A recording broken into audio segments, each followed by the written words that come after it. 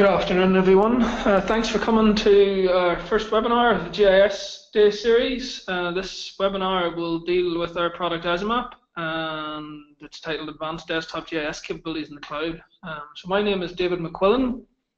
I'm the founder and CEO of Azimap, and I'll be running through a short presentation initially, then getting into a live demonstration of some of the functions of the software with an introduction to what it is and what it's about. So, thank you for your attendance. If anyone has any questions, please uh, type them into the the your systems, and we will endeavour to answer them towards the end of the presentation. Thank you.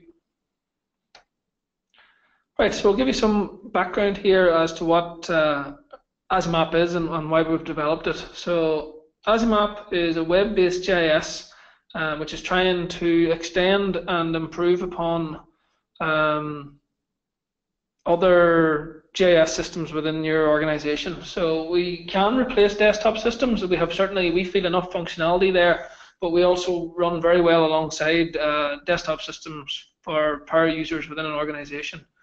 So what we try to do with the system is make it as easy to use as possible and to allow organizations to spread GIS throughout their whole organization in a cost-effective way to allow them to uh, have non-GIS users in, interrogate and analyze uh, spatial data and generally just allow you, an end user, to get the most out of your data using a GIS system at the highest efficiency of cost.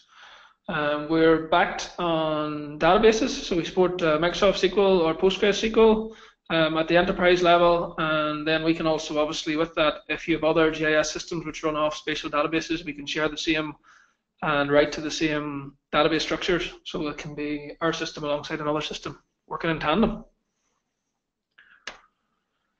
So, a short uh, description here of our, our, use case we have here in local government. So, we have developed uh, in league with a local partner a planning search portal in Northern Ireland, and that is a system that allows the end user, both agents and local government uh, representatives and the general public, to search for and interrogate planning information. Um, so, this is all based on open data, and it's a much quicker and easier system for searching the data than was currently available that was directly through central government agencies. And it is based completely, as I say, off open data and allows uh, the final user quite a lot of uh, advanced geospatial uh, checks and balances there. So I'll be part of my presentation today. I've actually gone through loading up some of the data that's involved with this map and interrogating it so I can then show you if I have time at the end uh, a demonstration of the, the live product. Um,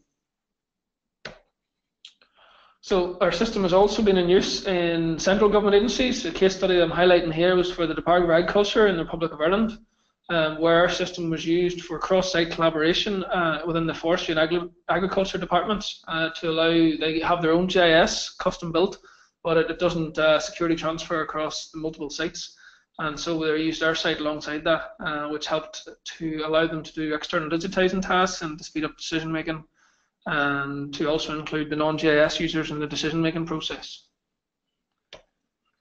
Um, we also have support for uh, raster information. So the screenshot on the slide here is our own uh, attempt at a cloud-free map of Ireland using the European Space Agency Sentinel-2 information. Um, but we have a quick and easy repository for raster information, both from Sentinel satellite or um, from aerial surveys. Uh, we can support both with lots of algorithms in there to allow the raster to display properly on uh, on a web-based system, and when you we can even support up to terabytes of data on an enterprise system, uh, where we can set them up as a, a pre uh, predefined image pyramid to allow for optimum speed. So that's that's one we're quite proud of.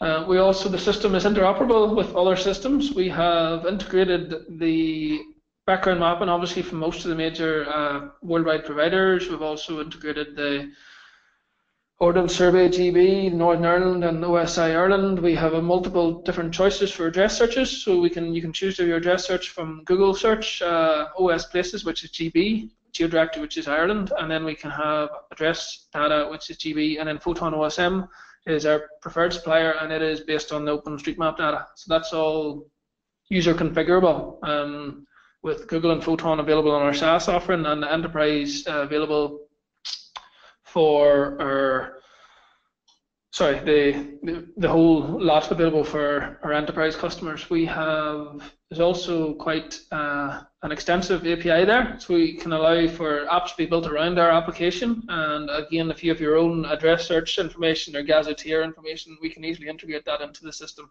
for enterprise customers to allow them to search their own data directly in the in the address search field, as you can see there. Um, yes, so the JavaScript API has been used by us and a number of other organizations to, de to quickly develop uh, new custom apps which have a map at the center um, and can greatly speed up development um, as much as three times in our experience. And for enterprise customers, we can authenticate against Active Directory uh, directly so that there's, there's no issues with logins or security or sharing. So. Um, on our roadmap this year, we have uh, Still to come, uh, 3D mapping. You can see a screenshot here of a prototype. Um, so we're aiming to have that delivered uh, in the winter uh, this year. So hopefully December, January this uh, December this year, January next year, we should have this facility to view your data on 3D maps or view 3D data as well.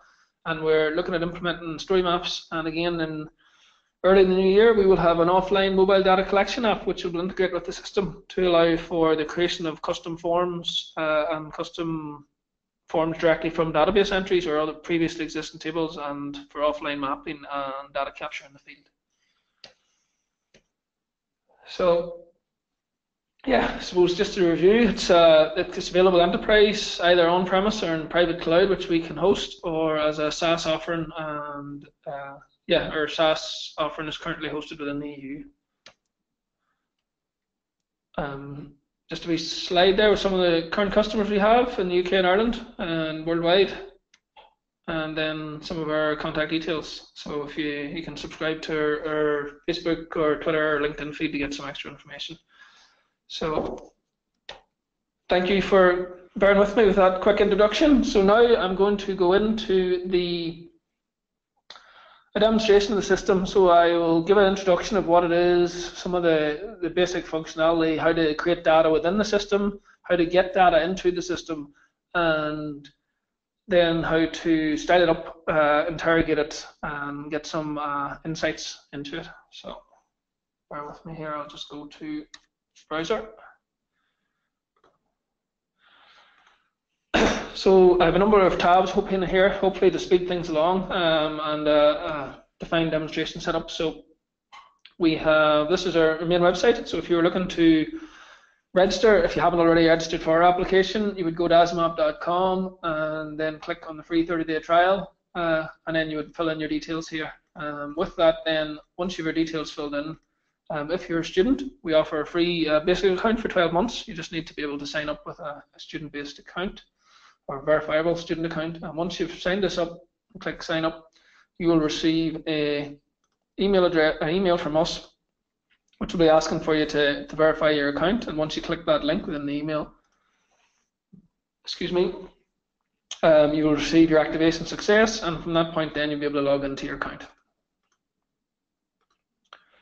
So when you log into your account, you'll be faced with this view. Now, uh, I have a few maps set up here. Initially, you'll have nothing in my maps because you'll have nothing in your uh, system. So your maps, uh, when you have a few maps in there, will appear in a carousel. And this bottom section is a random selection, curated sec selection by us of other customers' maps to give you some uh, inspiration.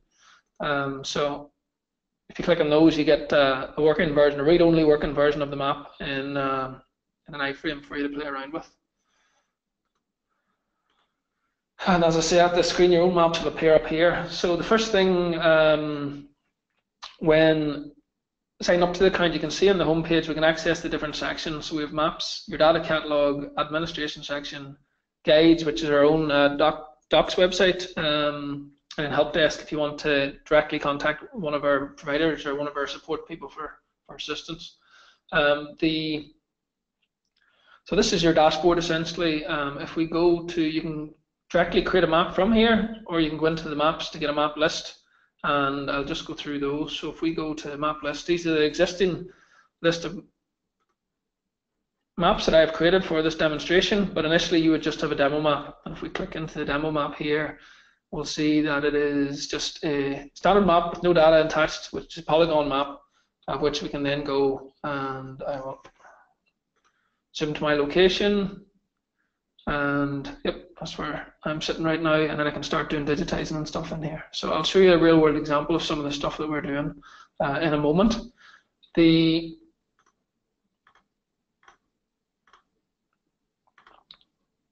data catalog, these are all the data layers that I've imported in the system for this demonstration. You can see that I have three here that have failed import and then another um, number which are successfully imported. Uh, those are highlighted just within that login session. So whenever you do something with that layer, they just become a normal colored layer. So that's just to quickly envisage that, yes, it was successful importing or unsuccessful. So I will go back to maps. Now all uh, data um, manipulation here can be done either here in the back-end console or can be done directly from the map. So we would advise obviously going directly to a map. So that's what I'm going to do now. So to create a new map, use the create new map button and give the map a name. And at this point we can hit advanced and that'll take us in and allow us set projections um, or to set other fields within there, add layers and generally control or we can hit save and it'll just be saved in the default worldwide projection and we can get straight to the map. So it depends on your use case. If you want to work in a local projection, you would use advanced. And if you want to work in um, just in, in, the Mercator projection, then you can just hit go. So we have here now our map surface with no layers attached. So we'll get a little prompt to say, do you want to create or import new or add existing? So existing ones are layers you've already added to the system, which you can add to as many maps as you like or you can create within the system or import. So at this point, and there's a little help video of how to do it there. Um, so I will create import, and in this case, um, I suppose, yeah, I will import data. So data is imported within the system using the drag and drop interface, or you can select, click it to go and select things. So the data formats that we support of import is shapefiles, tab files, KML, GPX files, Esri file geodatabase, and geotiffs for raster information. The CSVs, we support spatial CSVs, which have an XY or lat long, or even a WKT, so CSVs can contain polygon or line information, but we also support CSVs which have no spatial information, which then can be added to the dataset within our system. Um, when we drag and drop, I, I have a number of layers here um, already pre-organized. So I'm going to, what I have is we have, um, if I click off this, this is the website I was talking about earlier, so it's NI Planning Search. So I'm going to bring in some of the data layers that we have here and then just go through how we were, would style them up and um, manipulate them. So that's like our endpoint, which I'll show at the end again. So at this point, I'm going to drag and drop a number of these layers in here. So I have a zip file containing a CSV. I have a zip file containing two shape files. I have a CSV on its own, and then I have a shape file on its own. So you just drag and drop them all in, and the system will remove any files that aren't applicable, and then it will run through. Um, where possible, it will set the projections on these layers, and where um, so those are the shape files. If it's if it's got a projection attached, if it doesn't have a projection attached, then you can set one. Uh, I know in this case, this is uh, Irish Grid, the old version. And then for CSV data, you always have to set uh, EPSG code and a the type of data which is in within the thing. So in this case, I know this one is 4326 WGS84 and it is point data so the options I have here when I'm importing a CSV, um, I can select whether I want geometry columns to be kept as attributes. Now what that means, if you have an XY column in there, we convert that to geometry within the database. But we can also keep the XY as, as columns, attribute columns. Now, I would advise if you're importing points, you'd want to keep the XYs. It's nice to have that information there. If you were importing polygons or lines, it's probably best to leave that unticked because uh, a well-known text representation of a polygon or a line can be very, very large and doesn't really mean anything represented on screen. So I'll tick this because it's a point layer. Then again, we have lettercase column formats. So the system automatically selects the best column format. So if you have strings in a column, it'll be pulled in as a string. If it's all integers, it'll be pulled in as an integer. Um, and if it's mixed, it's generally pulled in as a string. Um, for us to be able to, and the third one there, sorry, is contain spatial columns. Um, so we, to bring data into the system from a CSV, the spatial columns either need to be named in a certain way. So they either need to be named WKT for the well-known text format, so that's a single column. You can have points, lines, or polygons in it. Um, and then or else you can have xy or lat and long or latitude longitude uh, so as any, any, column that starts with lat or lon doesn't matter what the rest of the word is just wildcard matched and that will match up and bring in. So I'll just close that. And for the last one here I know again that this is slightly newer 75 Irish grid and again that's points. And I will set the geometry columns as attributes again so once I have all this set up, I can change the names of my layers as I bring them in here.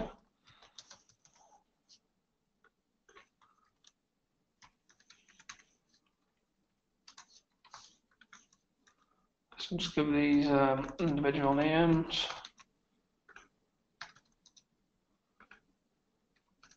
So at this point, as I say, I have a notification item here. When you're importing a number of files like this, it can take a few minutes to import. So rather than uh, waiting for the system to import them, uh, we, we pass it off to a separate thread and you get an email sent to you whenever the stuff is imported. So you can go and continue your work, um, make more additions to the map, uh, and then whenever the system's ready, you just refresh it and the, the information will be added. So again, if there's layers there you don't want, you can remove them using the X. So if I save that, again, we get a nice little message here telling us, but essentially we can refresh the page, our layers may be loaded, or we can wait for the email to come in. Um, and we'll see that coming in a little while here, um, whenever, and I'll show you the example of the email. So to speed us along, I have already pre-imported this stuff. Um, so I'll move on to my next tab. So this is an example of what you would get then um, after you've imported those files and what we have got. So I have a polygon layer, which is the council boundaries. So these are the administrative boundaries within Northern Ireland. Um, and then I have a planning layer. So let's turn these off, which is, um, I think it is, well, let's see.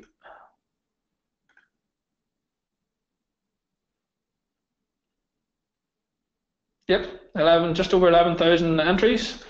Um, then we have the location of police stations in Northern Ireland, and then we have the location of schools in Northern Ireland, and then we have uh, locations of mobile phone masts and mobile phone antenna within Northern Ireland.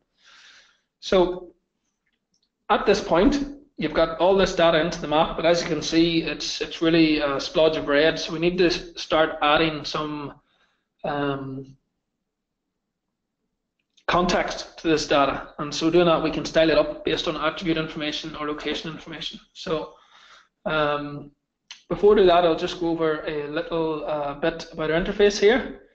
So obviously this, we have our map interface. We have zoom in, zoom out, and move, or else you can just use the mouse, drag, drop, mouse wheel in and out. Um, hold shift to zoom to a box location, and then we have our administrator's toolbar open here. So this is all the tools we have available on the map. So I will go through each of those uh, in a later date, uh, or not later date, but later in the presentation. So for the moment, so these are edit tools or view tools or other tools and map definition stuff. So as an address search, at the minute this map is configured to use uh, Google address search. So if I was to search for Belfast, yeah, I'll come up the result and click that, it zooms that location. So and then I can set a routing from that using OSM data. But I will zoom back out again here. So what we want to do to change the style of these layers, if you're an administrator or a map owner, you can click on, you can hover over this to get the legend, or you can click on it and it will give you the styler options. Um, if you're not a map owner or a map administrator, then that's not editable. So I'll show you an example of that later on. So for planning here, uh, initially when we import new layers, uh, we can define, uh, we can go in and change in the back end what the default layer for that, um, what the default style for that layer is. But here I'm going to set new new styles for these maps. So if I've previously created styles, as I have here, I can just apply them. But in this case, I'll show you how to create a new style uh, using the styling wizard. So in this case, I want to do planning 2017.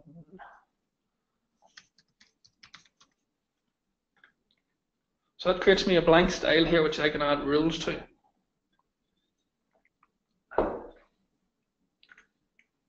So I can add individual rules.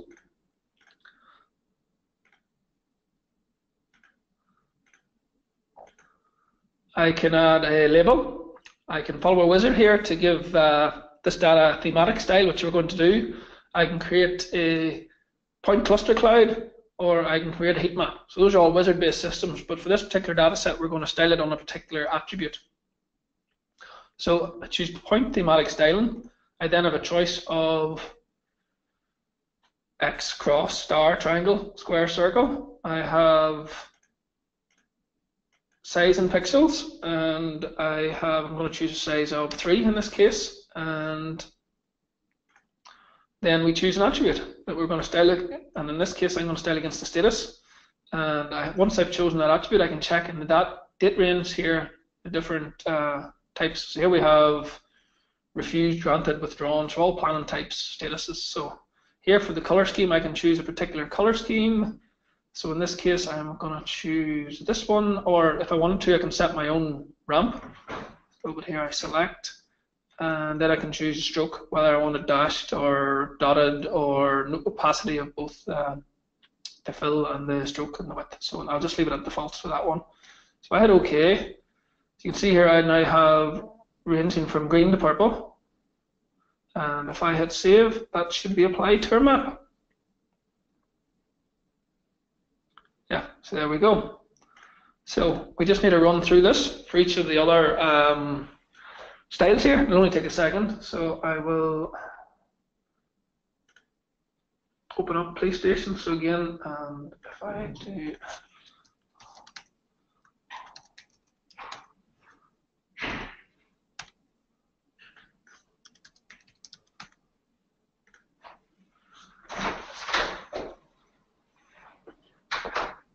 Um, I am, yeah, I'm going to set this up with standard point style because if we go to police stations, this is our legend name entry here. I can choose as a standard point or extended icons. So we have within the system categorized over 300 style icons for points, all uh, utilizing SVG format, so very small and the vector-based format, so you can have the point as, as large or as small as you want. It won't make any difference to the the type of the system. So if I go into background here, I can take what is kind of like a police badge, and I'll just set that to blue.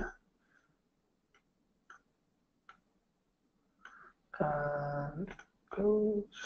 Okay. Can see here police station, and if I hit save, again we'll have police stations will appear, as we can see.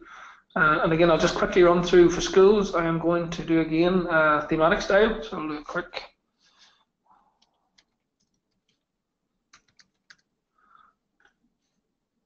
And that is based on the type. So in this case, we have type school, and I want to set that. Again, you can see grammar, nursery, primary school, preparatory school, secondary school, special. So again, that'll create all the rules, create the names. Save. And last but not least, we have mobile phone mass. So I'll just quickly create that style in the same method. So again, if you have a number of data sets which all use the same um, structure but the different data, you can create one style and apply it using this existing multiple times. So I already have, I'll just show as an example, a style for mass in there. So if I click that, that'll preload that. So that's one I created earlier. Show different providers on the masts, and yeah. So there, within five minutes, I assume we have just um, imported some data, styled it up so it means something more, and we can create groups in here. I'll just show, I'll put this into, so we have create a new group. So I'm going to call that group um,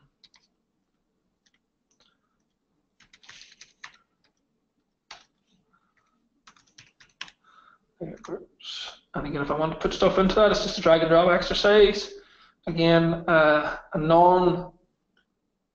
non-administrative user can do this, but it doesn't save. An administrative user, if they change this order, create new groups, that's saved into the, the map structure. So that's available, um, yeah, straight away for sharing. So if I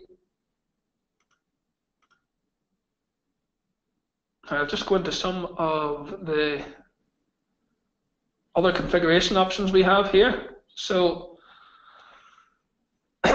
within the map, you can see here we have, this is the names as I imported them from earlier, not quite. Now, just an example, um, can it happen here, but I can go back and see here that I've got uh, email has come in. So the import is finished in that previous layer.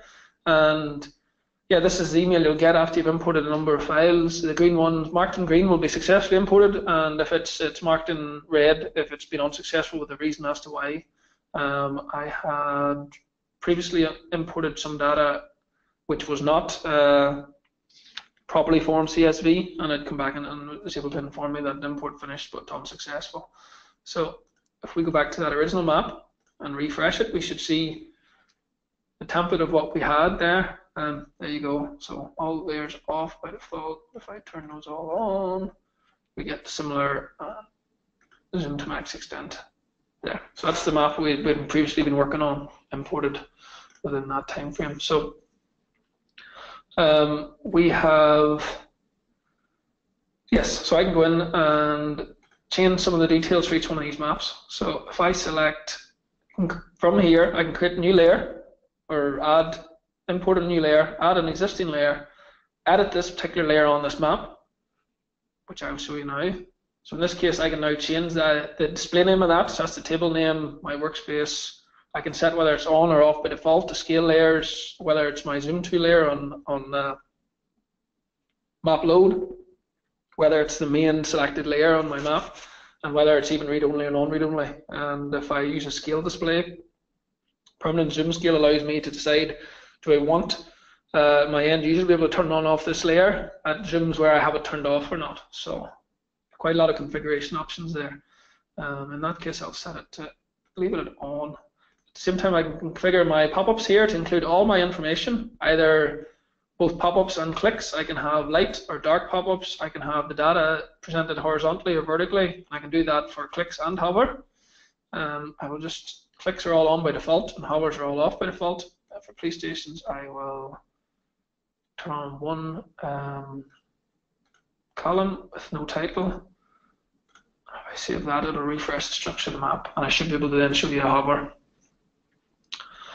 with the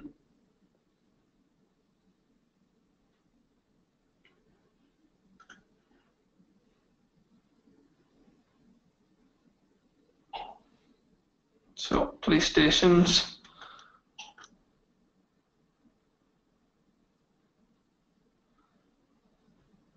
yeah, you can see that's the hover that I've added there. Let's say that could be configured to be black if we wanted to, or to have the header of town. So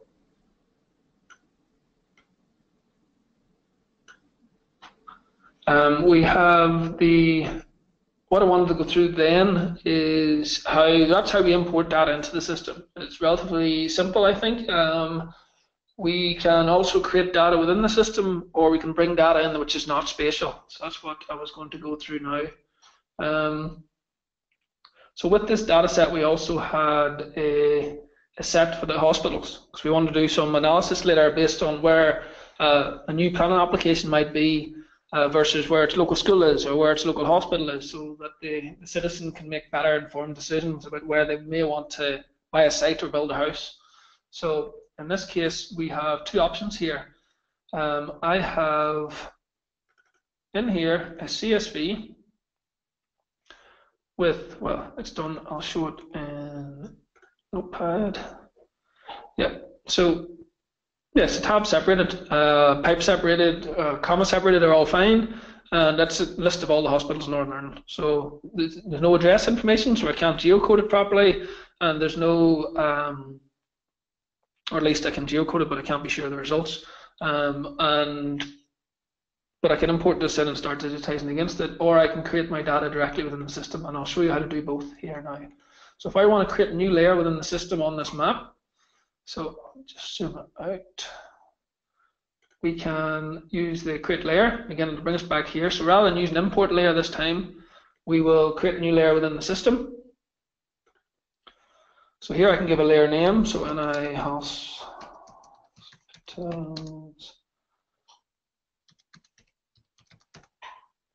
I can choose my projection, I'll choose a local projection. We do support the full EPSG channel here, so um, let's say if I was looking for,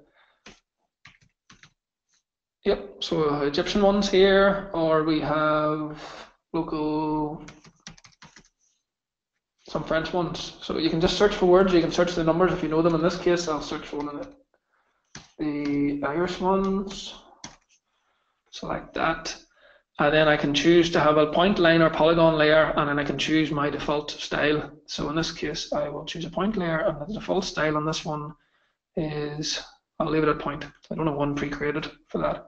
And active just means whether you want it to be immediately active or not. So if I save that, that'll create a database record in our Azimap database. Um, so once that's done, uh, once that's done, I will be able to add new attributes to this layer. So now, so all layers have either an ID and a geometry, so spatial information. I can add many different attributes here as I like after that. So in this case, hospital name of text type, um, I can choose how much, what size I want to hold the text, and then whether the data in this is editable or not. It might be a pre-filled um, uh, attribute, or whether when I save something, I have to put something in this field before it allows me to save. So I'll just add that. You can see here I have a new column in there, and I will save and update that layer.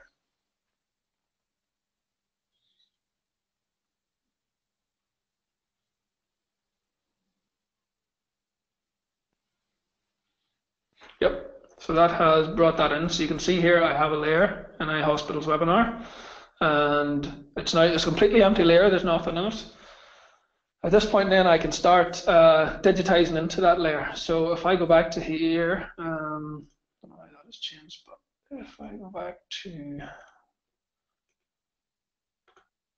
yep, this, so I can search for some of these hospitals and start digitizing into them. So the process for that would be, let's say the Area Hospital. So I can do an address search for that.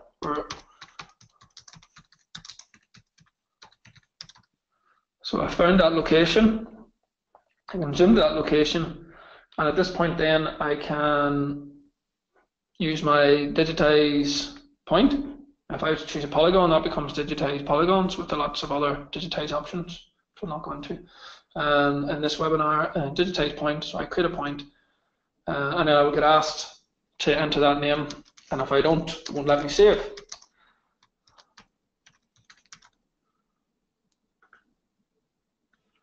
Point created. So now if I go to that data set, which is browser, we have one point created. That's one way of entering this data. We can also, as I say, if we already have this data in a spreadsheet but with no spatial information against it, we can import that directly into the system, which I'll just do now. So import layer in here and we have CSV. Again, we can at this point there's no spatial information, we can choose any projection system we would like um, to three. And then I want to set here that we don't have geometry columns, don't need to guess, well, do want to guess column formats. We don't have a spatial column and we want to collect points into this system. And again, that should import in no time at all because it's only got about 12 entries in it. So if, if I refresh the map, um, hospitals, there you go. So I can now uh, use one of our tools up here to start work, working through the list to digitize this information.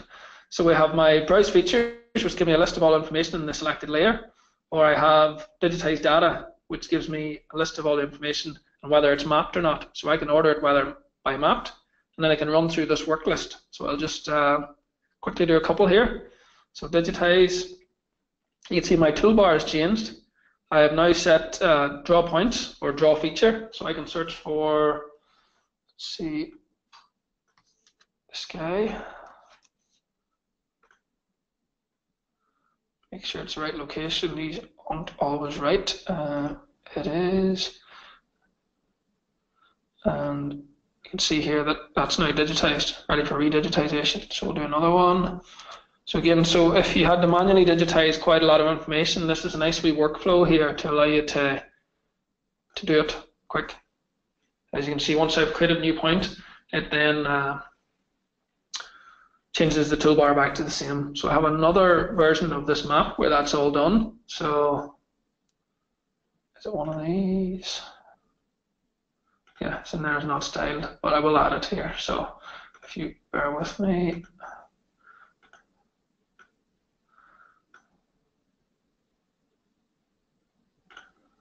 One I did earlier, so I add that to the map.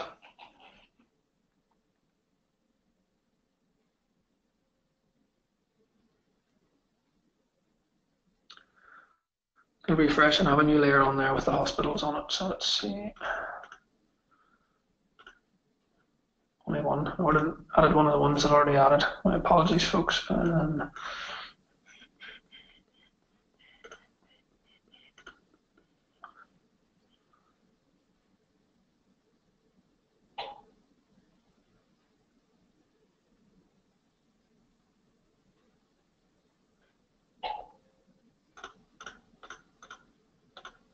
Yeah, that's them all on now. So I'll just delete this one and I, I added erroneously.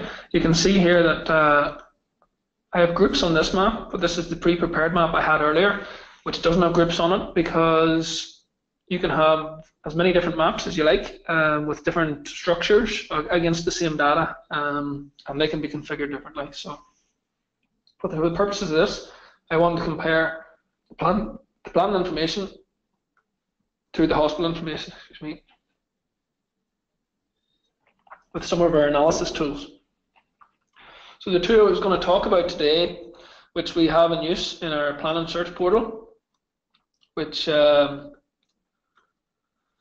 if in here, so I have, I'm thinking of building a house. I have a sick or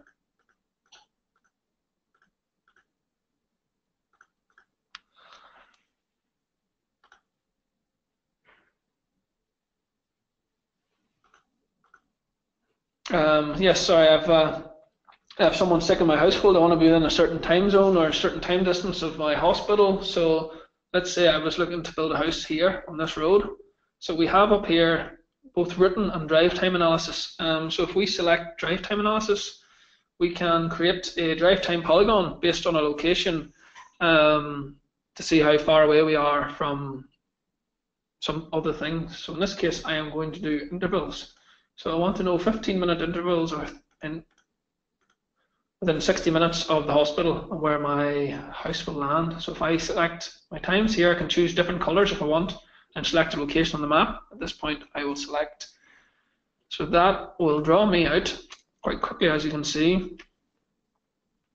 A drive time here from the hospital, say 15 minutes. So my original thing here was in 15 minutes of the hospital.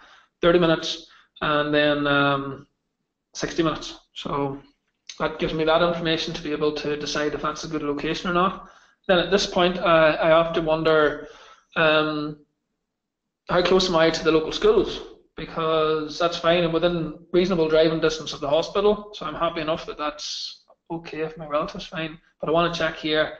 I'll turn off the plan information and hospital information. So now I have police stations in school, so I can check how close am I so how many schools are within five mile of my location? So again, I can select uh, here, and I can say five kilometers from my location. I want to then place a circle, and again, it was about here that we talked about. So you can see here, I can see visually, but I, I don't have any within five kilometers of this location. Um, but I can generate a report, and that will tell me that. And again, it uh, when we generate a report here, it actually returns results. So I have two schools within that location, um, Primary School and Hazelbourne Primary School. So those are both within five kilometres, so I know that I'm covered for schools. I can then generate a report, which will allow me to save the data in an Excel spreadsheet. So if I open this up,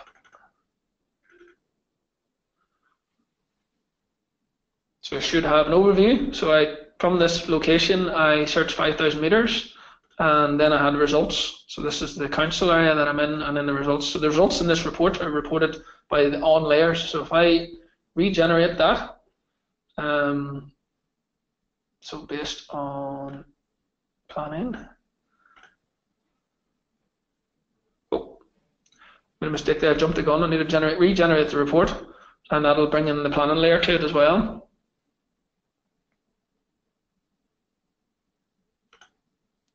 And again, if I import that, then I'll have the 42 entries or download that. So.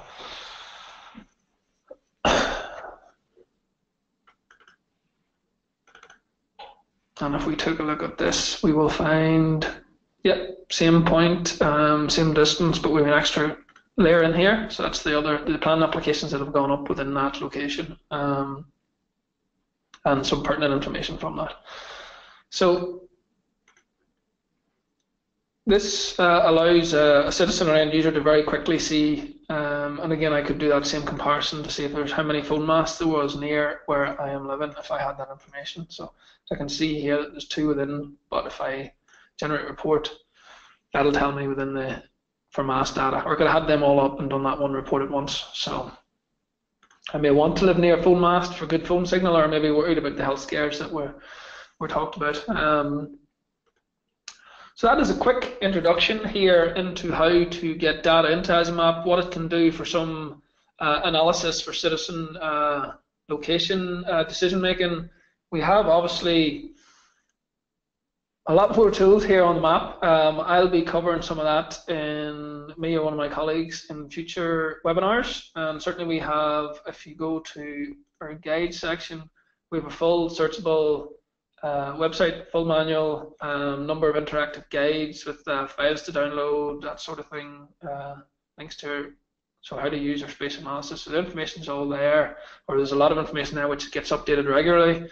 And I suppose to finish off, I will um, show you an example of the real live planner website here, which has some of these tools attached. So again, we can search. This is a separate little uh, search which has been designed and interacts with our map using a, our JavaScript API. So I can do a Google style search for a word and we'll search across six different fields and give uh, partial examples. And again, if I change that, that is searching instant search based on, yeah. So you can see that's quite powerful. If I select that, then the API kicks in and I zoom to the right location. I can then at this point my pop-up loads, I can do my buffer search from this location, I can link out to planning information, I can print this location, and or I can then, the buffer search generate report, I can do my routing or drive times from this location. And I've integrated Street View into this map and an attribute search. Um, legend. So Thank you for your time here. Um, and again, any questions that you haven't yet asked, please ask them now, and I will endeavour to respond to them uh, as best I can. And thank you very much for your time, and I hope you check out our website, check out our app, uh, and uh, hopefully, if you're interested, I'll, I'll see you as one of my colleagues. will see you next week, at the next webinar. Thank you very much.